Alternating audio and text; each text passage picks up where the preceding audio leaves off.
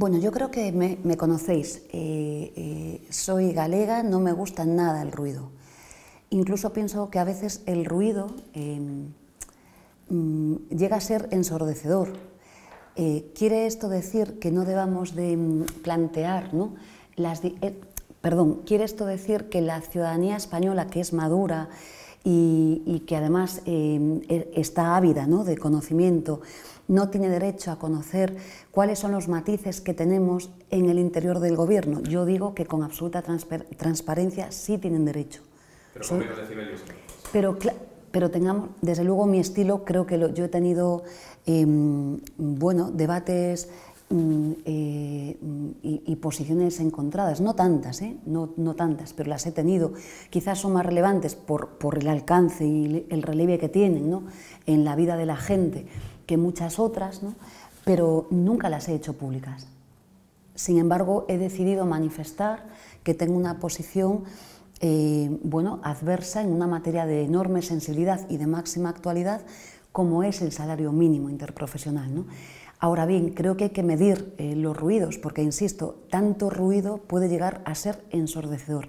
Respondiendo a la pregunta, mm, yo no, no uso estos estilos ni lo voy a hacer, no voy a cambiar yo creo que esto lo sabe todo el mundo, se lo he dicho, por supuesto, a Pablo Iglesias, lo conoce bien y lo, sabe el presidente del Gobierno. Y, bueno, yo creo que sin desvelar nada de lo que se diga en los consejos de ministros, bueno, yo creo que lo conocen eh, los compañeros y las compañeras del Consejo de Ministros. ¿Esto quiere decir que Unidas Podemos no vaya a tener voz propia? La va a tener voz propia. Ahora bien, en la medida de lo que pueda, desde luego, en lo que a mí atañe en mi papel, eh, voy a ejercer un papel institucional. No soy ahora mismo más que la vicepresidencia, mm, perdón, vicepresidenta tercera del Gobierno de España y lo voy a cumplir. Lo he hecho siempre. Eh, ¿Comparte las críticas de Pablo Iglesias a los medios de comunicación? Bueno, em, justamente este tema, eh, soy una gran defensora de la libertad de expresión y una gran defensora de la libertad de prensa en mi país. Y entiendo que en mi país tiene que haber líneas editoriales que, son diversas. Y además las respeto y las comprendo. Yo no le voy a pedir ¿no? a un periódico o, a un medio digital que no comparta, que no opine libremente, sin lugar a dudas.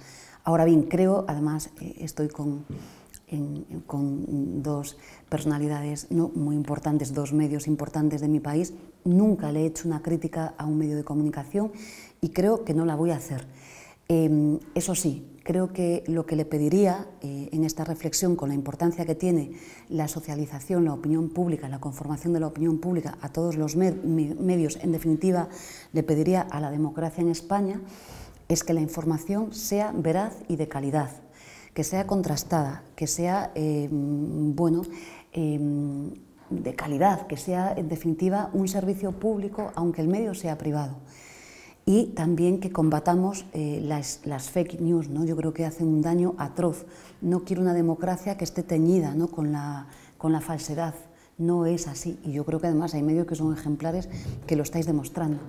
Y también, si me permitís, ya que soy la ministra de Trabajo y Economía Social, Quizás para dar buena información necesitamos que tengamos un poquito de menos precariedad en los medios de comunicación. La precariedad lo inunda todo, pero también para prestar eh, buena información necesitamos trabajadores y trabajadoras en buenas condiciones de trabajo.